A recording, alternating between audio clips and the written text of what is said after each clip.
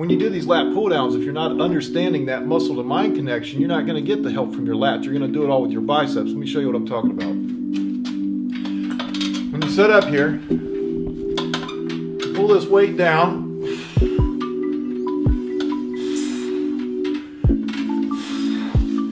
What you want to do is visualize your hands as hooks. Okay? You're still not feeling that lat involvement, then what I want you to do is grab even less of a grip here on the bar, like this.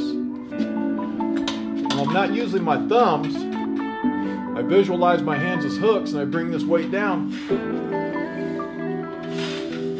Make sure you exhale as you pull the weight down and inhale as you bring it back up.